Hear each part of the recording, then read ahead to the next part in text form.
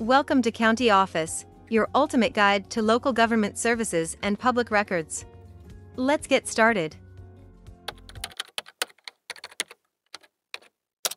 How to get in-home care for elderly. Hello, savvy seekers of knowledge. Today we're diving into the world of in-home care for the elderly. If you've ever wondered how to get this service, you're in the right place. First things first, you'll want to assess the needs of your loved one. This could mean medical, emotional, or daily living assistance. Each person is unique, so tailor your search to their specific needs. Next, research your options.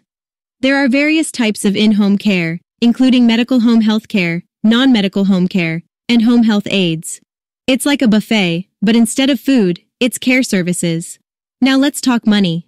In-home care can be pricey, but don't despair.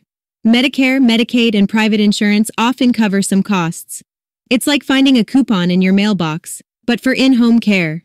Once you've done your homework, it's time to interview potential providers.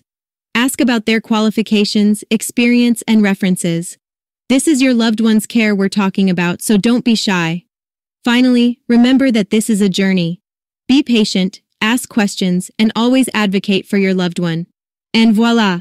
You're on your way to securing in-home care for your elderly loved one. It may seem daunting, but with a bit of research and perseverance, you'll be navigating this landscape like a pro. To learn more, check out these links which you can click in the description below, and feel free to comment your questions. We're here to help. Thanks for tuning in to our video. Please like and subscribe, and leave a comment below. See you in the next video.